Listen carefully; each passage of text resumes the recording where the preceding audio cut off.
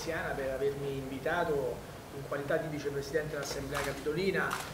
ad un convegno che eh, riguarda eh, la città di Roma ma riguarda un tema in particolare che è quello del turismo. Esatto. Io ho apprezzato molto gli interventi che si sono preceduti eh, e certamente alcuni spunti di riflessione in tal senso vanno carpiti perché quando abbiamo eh, davanti a noi degli interlocutori che sono eh, diretti interessati di un settore in particolar modo come quello del turismo alle porte chiaramente di avvenimenti importanti che venivano richiamati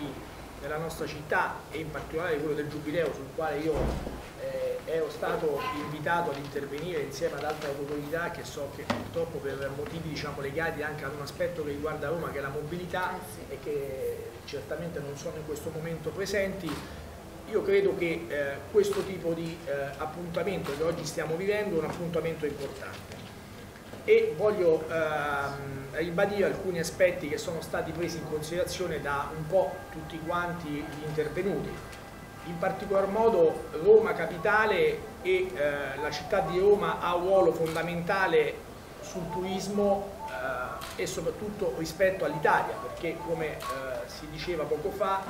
il turismo ha una grande incidenza sulla città di Roma, ha una grande incidenza anche nel tessuto urbanistico, commerciale e anche turistico della nostra città, però certamente eh, non siamo una città all'avanguardia, non siamo una città che può essere diciamo, paragonata a delle città europee, è stato fatto qualche esempio prima rispetto a, a dei momenti anche di workshop che sono stati fatti anche in altre capitali europee e certamente Roma su questo eh, deve necessariamente migliorare anche perché come eh, ben si sa l'anno successivo sarà un avvenimento importante per la città di Roma che è quello legato al Giubileo. Anche se eh, questo appuntamento è un appuntamento eh, che bisogna eh, essere onesti e bisogna dirlo, sarà un appuntamento più legato ad un aspetto che sarà quello della solidarietà e soprattutto anche del momento che è quello della cristianità dove chiaramente eh, sarà un tipo di turismo totalmente differente rispetto a quello che è il turismo che Roma ospita certo. ogni anno con i suoi 14 milioni e mezzo e soprattutto con le sue magnifiche strutture, con il suo settore produttivo nella città. Questo cosa significa? Significa che Roma deve avere una visione, una visione anche in funzione anche di altri appuntamenti, perché certamente Roma non può essere una città che deve ricorrere anche a degli avvenimenti come quelli del Giubileo o a degli avvenimenti che possono essere diciamo, quelli legati a degli appuntamenti anche legati a momenti anche istituzionali e non solo, perché chiaramente e necessariamente deve avere anche eh, degli investimenti. E su questo chiaramente ehm, nel richiamo che qualcuno ha fatto certamente una funzione molto molto importante l'ha il governo il governo che in qualche modo deve riformare intanto una legislazione, consentitemi di dirlo, sulla differenza anche di quali sono le attività ricettive e quali sono le attività che non si considerano come ricettive. Su questo specifico caso, ad esempio, faccio un, uh, un piccolo appunto, noi siamo stati chiamati da uh, molto poco a trattare nel nostro bilancio comunale una serie di tassazioni che uh, mi confermeranno eh, sono quelle legate anche al settore turistico, ad esempio la tassa di soggiorno.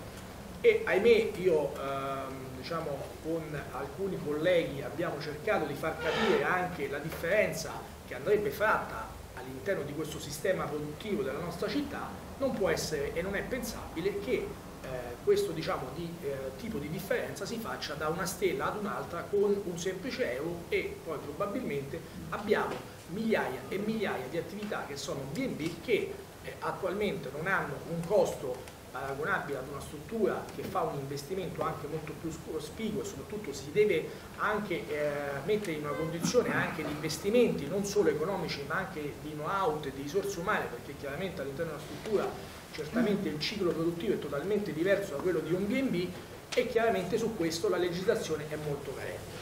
Detto ciò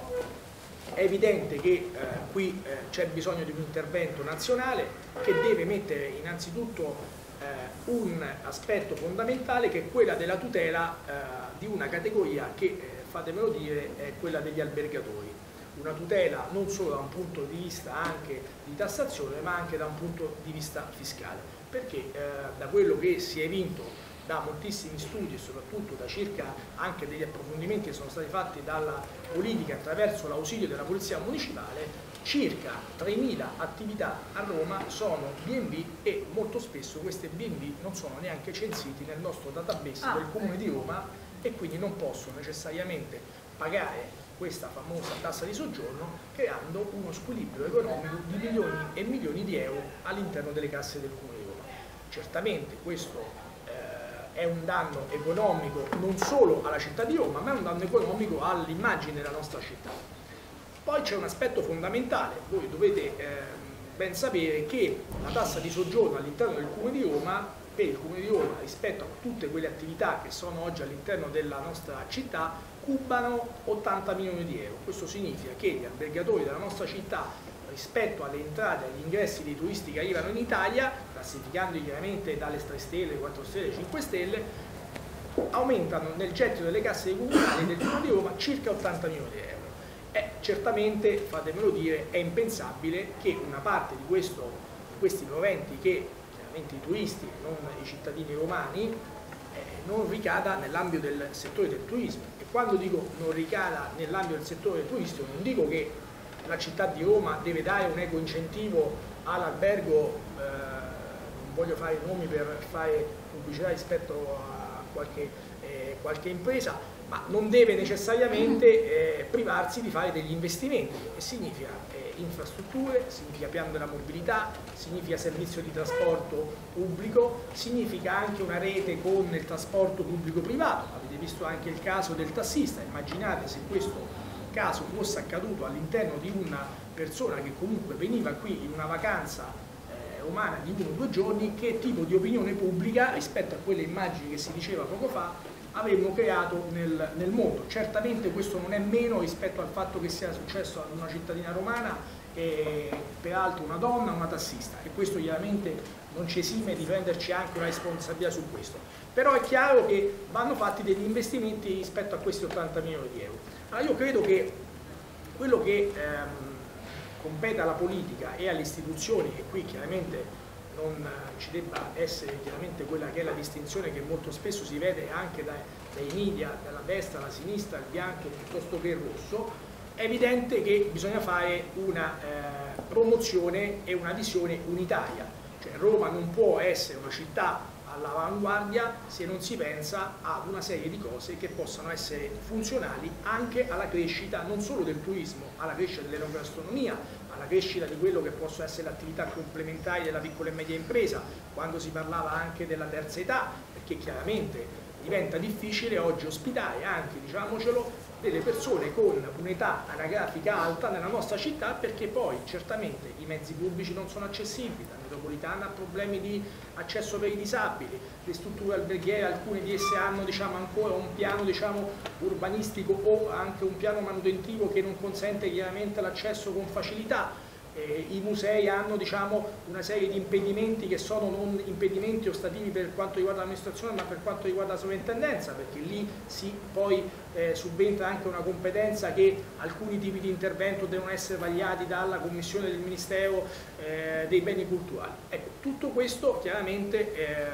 va fatto eh, va preso in considerazione, va fatto anche una commissione che noi adesso lanceremo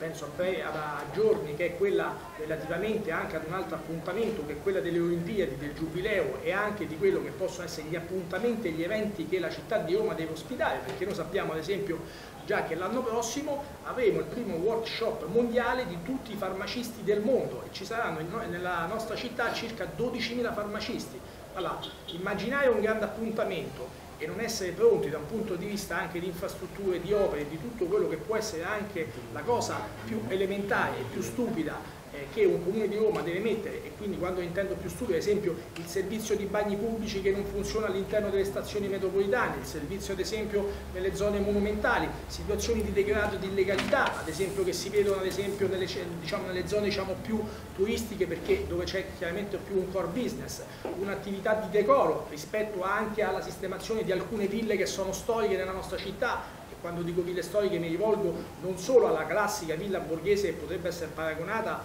alla villa più importante di New York che conosciamo tutti per la sua bellezza e per la sua maestosità, ma certamente anche ad altre ville che possono essere Villa Ada, Villa Panfili e altre ville. Ecco, tutto questo va fatto chiaramente con una visione unitaria e io mi auguro che questa commissione che nascerà eh, fra qualche giorno e peraltro che verrà consegnata anche nelle mani del, eh,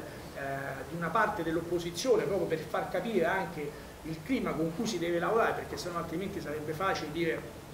è colpa solo ed esclusivamente della maggioranza che è guidata da un sindaco che comunque non risponde a quelle che sono le esigenze del, dell'opposizione, il fatto che si sia concessa nei confronti dell'opposizione è lo spirito giusto per iniziare a costruire qualcosa di concreto. Certamente eh, i tempi sono lunghi, i tempi eh, non sono immediati perché come dicevo purtroppo bisogna mettere in campo una serie di realtà che sono regione, governo e anche alcuni ministeri in campo, però ecco questo è lo sforzo che va fatto. E io credo che questi appuntamenti servano non solo a me ma anche a chi comunque svolge un ruolo anche non in modo attivo all'interno della politica eh, romana a fare anche delle proposte e eventualmente anche nell'ambito di questa commissione che nascerà dove chiaramente io rivolgerò l'invito visto e, eh,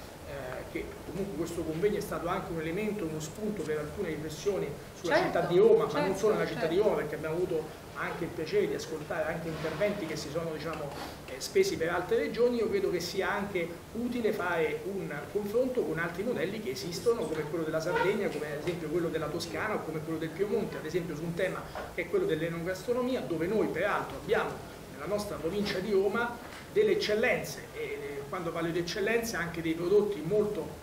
importanti portati all'estero dove chiaramente per quanto riguarda l'enogastronomia, Roma e il Lazio non sono sicuramente da meno e io credo che questo è il lavoro che noi dovremmo fare tutti insieme perché credo che eh, quando parliamo di Roma dobbiamo essere orgogliosi eh, di esserlo ma soprattutto anche di eh, cercare di far trapassare un messaggio anche di eh, prospettiva ma soprattutto anche un messaggio di crescita per la nostra città. Grazie.